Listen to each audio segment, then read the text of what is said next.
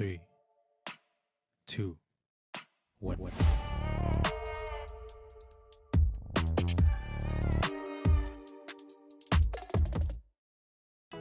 What's going on, everybody? It is day 75 on our Funko of the Day journey, and we're still going strong, and we ain't stopping anytime soon. So, if you guys are a fan of Funko, Funko related things, movies, comic books, animes, cartoons, nerdy stuff, geeky stuff, all of that goodness, really think about dropping a subscribe and dropping a like because I will be posting a video daily until we get through my entire collection, if that ever happens because I'm always getting new Funkos here and there, so the collection is gonna keep on growing. But anyways, enough about all of that. As y'all can see, today's Funko of the day is Bo-Katan from Star Wars. So where are all my Star Wars fans at? More specifically, where are my Mandalorian fans at? Um, Bo-Katan is definitely one of my favorite Mandalorians.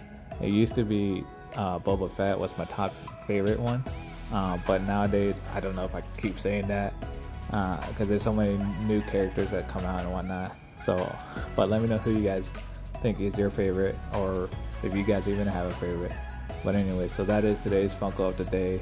Um, again, so if you guys are a fan of Funko, Funko related things, movies, comic books, animes, cartoons, nerdy stuff, geeky stuff, all of that goodness, really think about dropping that subscribe and dropping a like because I will be posting a video daily until we get through my entire collection, which might not be for a good while, if it ever gets to that point.